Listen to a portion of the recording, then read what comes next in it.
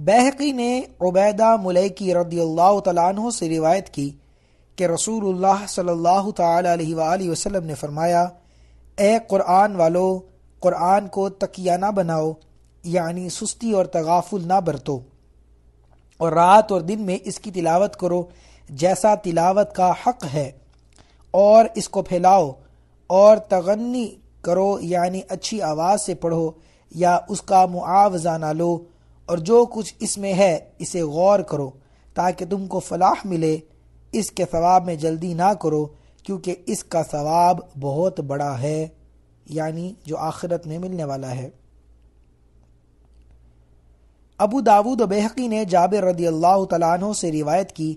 کہتے ہیں کہ ہم قرآن پڑھ رہے تھے اور ہمارے ساتھ اعرابی اور عجمی بھی تھے۔ اتنے میں رسول اللہ صلی اللہ تعالی علیہ وآلہ وسلم تشریف لائے۔ اور فرمایا کہ قرآن پڑھو، تم سب اچھے ہو۔ بعد میں قومیں آئیں گی جو قرآن کو اس طرح سیدھا کریں گی جیسا تیر سیدھا ہوتا ہے۔ اس کا بدلہ جلدی لینا چاہیں گے، دیر میں لینا نہیں چاہیں گے۔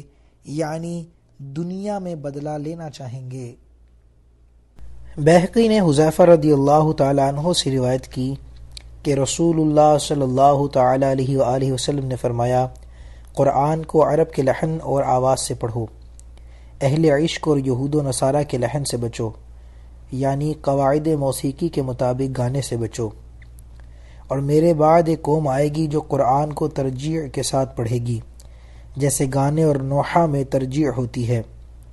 قرآن ان کے گلوں سے تجاوز نہیں کرے گا، ان کے دل فتنے میں مبتلا ہیں اور ان کے بھی جن کو ان کی یہ بات پسند ہے۔ ابو سعید معلّہ رضی اللہ تعالیٰ عنہ سے صحیح بخاری میں روایت ہے۔ کہتے ہیں، میں نماز پڑھ رہا تھا اور نبی صلی اللہ تعالیٰ علیہ وآلہ وسلم نے مجھے بلایا۔ میں نے جواب نہیں دیا۔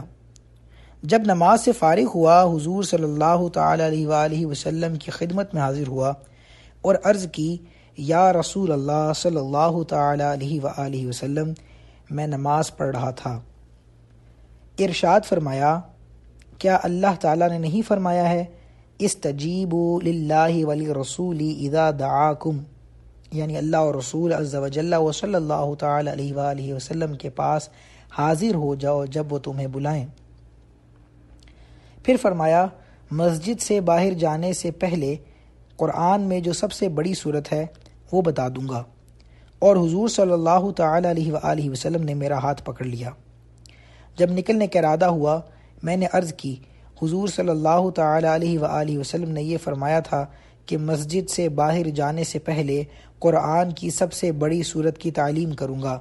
فرمایا کہ الحمد رب العالمین، وہی سبع مثانی اور قرآن عظیم ہے جو مجھے ملا ہے۔ ترمیزی نے ابو حریرہ رضی اللہ تعالیٰ عنہ سے روایت کی کہ رسول اللہ صلی اللہ تعالیٰ علیہ وآلہ وسلم نے ابئی بن کعب سے فرمایا کہ نماز میں تم کس طرح پڑھتے ہو؟ انہوں نے ام القرآن یعنی صورت فاتحہ کو پڑھا۔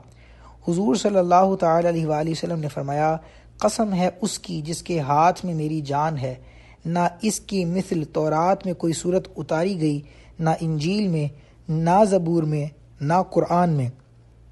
وہ سبع مسانی اور قرآن عظیم ہے جو مجھے ملا۔